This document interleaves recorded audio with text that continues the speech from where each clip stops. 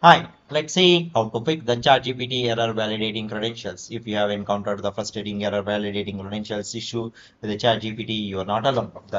This error can occur for various reasons ranging from the server issues to the problem with the login credentials. Fortunately, there are several troubleshooting steps you can take to resolve the issue and get back to using the ChatGPT seamlessly.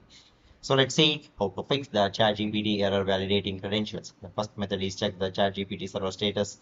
Check whether there is any known issues with the ChatGPT server. If there are any widespread problem, there might be information available for the official website or the social media channels. So what you can do is like you can visit the OpenAI status for the official real-time service updates. Check for the OpenAI social media for any uh, announcement or the user updates look at the community reports on the downdetector.com. If there is an outage confirmed, wait for all the clear before retrying.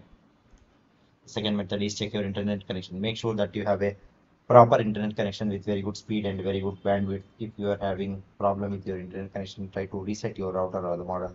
So that will fix any kind of bugs or the glitches present in your internet connection.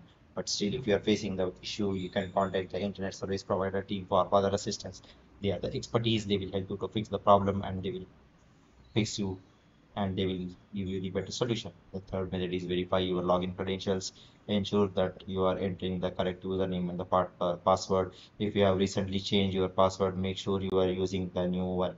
Incorrect login credentials are one of the most common reasons for the credential errors. Double check the username and the password you have entered. Ensure that the caps lock key is not accidentally enabled if the password is case sensitive. If you have recently changed your password, make sure you are using the updated credentials. The fourth method is try a different browser or the incognito mode. Sometimes the issue might be related to the browser itself.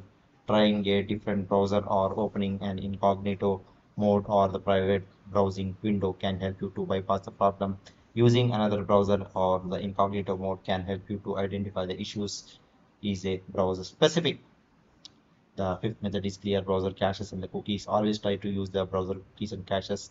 Suppose if you are using a Google Chrome and just go to these three dots, click on three dots, click on more tools, clear browsing data.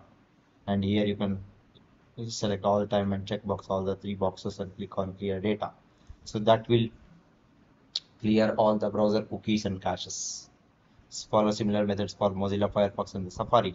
The sixth method is contact the support team of the ChatGPT. If you have tried all other troubleshooting methods and if you're still facing the problem, you can contact the support team of the ChatGPT. They are the expertise. They will help you to fix the problem and they will give you the better solutions. Okay, so that's all about this. Thank you.